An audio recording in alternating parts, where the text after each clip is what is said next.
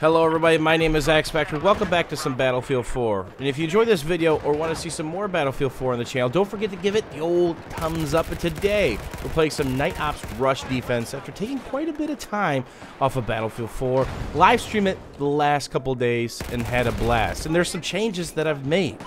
First off, you're going to notice my hand is just a little bit more sexy than normal. That is the Dice Camo. And I've actually had this since the day that Jack Frags launched his video.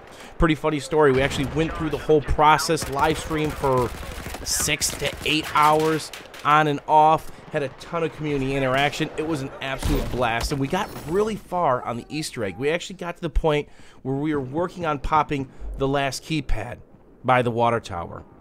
And I had to go shopping with Mrs. X Factor because who could say no to a Costco trip? Seriously. When you're out of monsters, you got to do what you got to do.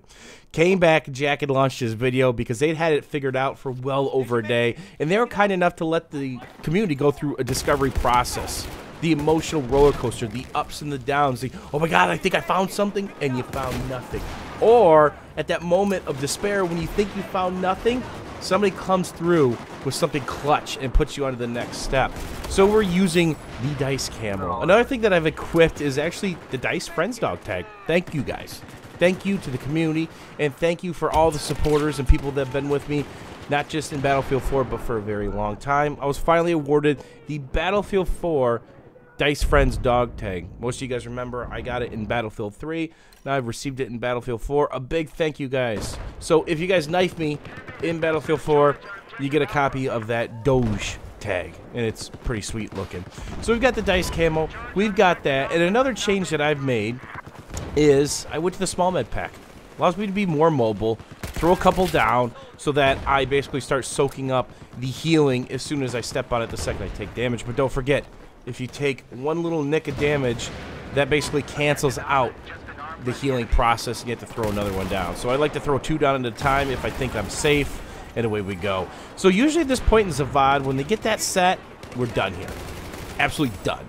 But somehow our team actually makes it impossible push. Because usually when they're this inundated in the area, saturated downstairs, upstairs, lobbing the sandwiches from up top, and anything else that goes boom, you're in trouble. And it's so dark in here. I can't even see, and I'm getting stuck lunging on things that I don't even know exist. So, still not looking real good. The word of advice is always flank a dank. That's it. When you're getting pinned, go for a flank. So we're going to go back downstairs because I don't know what's going on. And whenever you see a bunch of dead bodies like this, usually there's people still hanging around. And usually situations like that, I'll actually keep my gun in my hand. Right? Because I can't kill anybody without my gun in my hand. So getting used to these small med packs, this is actually the first round I used them. And I really like them. Now, what did I give up? My area effect bag. The big bag.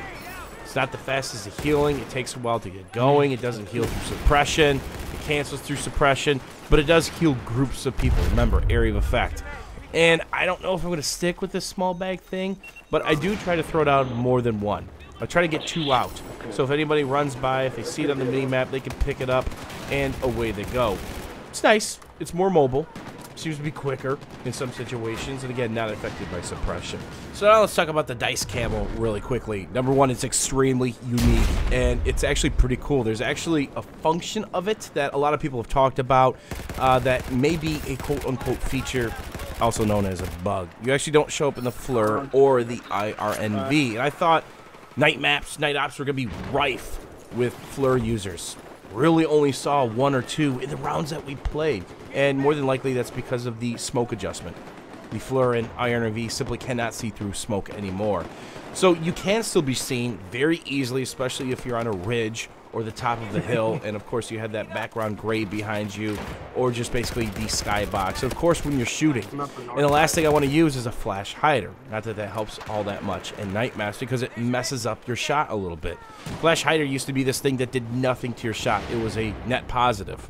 It would hide your flash for the most part, and it wouldn't increase recoil or spread deviation or any other negative connotation words, but it does have negative connotation now, so you don't want to use that. So, of course, your laser sight, whether it's red or green or the tri-beam laser thingy, so you got to be careful when using laser sights. So whenever you're looking at your target within a 30 degree view or so, they're going to be able to pick up that laser with differentiating, you know, view of intensity based on your angle. So it's important to turn that off in long angles, but I do turn it on when I'm getting up close and personal and I want a stronger hip fire so I can dance all day. And here you see another example of me getting out some of the small bags as I'm trying to figure out, as I've leveled up my perks all the way, how many can I have out? Is it three? Is it four? Do they start disappearing once I throw more than two or three down?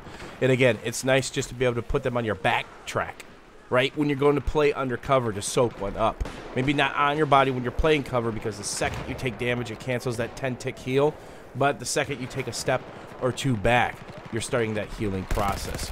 So we survived the mid push, which is really tough. And out here is kind of like no man's land. This is definitely tough to play at Zavod daytime.